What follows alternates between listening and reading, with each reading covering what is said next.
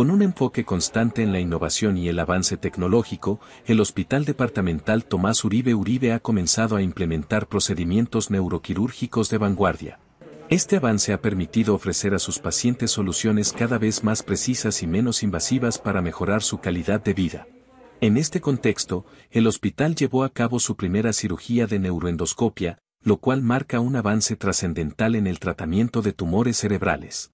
Una cirugía que está encaminada a la resección de un tumor cerebral que está localizado en una, ubicación profunda en el cerebro, ¿sí? en unas cavidades donde se produce y circula algo denominado líquido cefalorraquídeo, que es el líquido que baña el cerebro. Ya estas cavidades son denominadas ventrículos. ¿ya? Digamos que el paciente que vamos a intervenir el día de hoy eh, presenta o sufre o padece una lesión de origen indeterminado que sugiere ser algo neoplásico, o sea, algo tumoral, ¿sí? una naturaleza tumoral que se encuentra localizada a lo profundo del cerebro en estas cavidades donde se encuentra este líquido y que en el caso particular del paciente está generando además eh, de todo su cuadro clínico pues una obstrucción del flujo del líquido que baña el cerebro. El paciente, un hombre de entre 40 y 50 años, presentó síntomas persistentes de dolor de cabeza que llevaron a la detección de una lesión en una cavidad profunda del cerebro.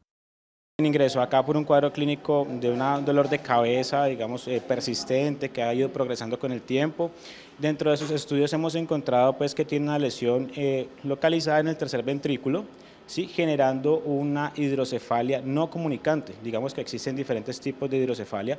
En este caso, dado que la lesión que sospechamos que sea un tumor de una naturaleza indeterminada, pues está obstruyendo el flujo normal y natural de ese líquido cefalorraquídeo, está generando una acumulación desde esa ubicación hacia arriba del líquido cefalorraquídeo, generando una hidrocefalia denominada pues no comunicante o obstructiva. Es una cirugía novedosa, ¿ya?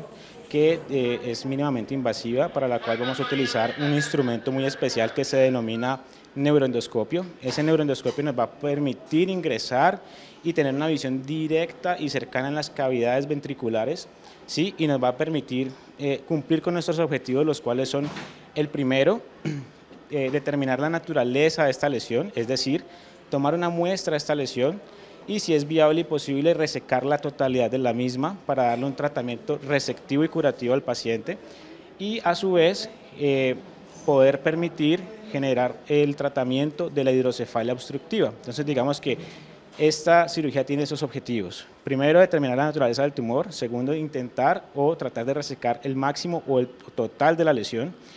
Y tercero, tratar la hidrocefalia por eh, algo que se denomina una tercera ventriculostomía endoscópica. Esta es la primera vez que se realiza una cirugía de este tipo en el Hospital Departamental Tomás Uribe Uribe, lo que marca un avance importante en la capacidad del hospital para tratar condiciones neuroquirúrgicas complejas. La técnica no solo representa una mejora en la precisión y eficacia del tratamiento, sino que también subraya el compromiso del hospital con la incorporación de tecnologías de vanguardia en el cuidado de sus pacientes.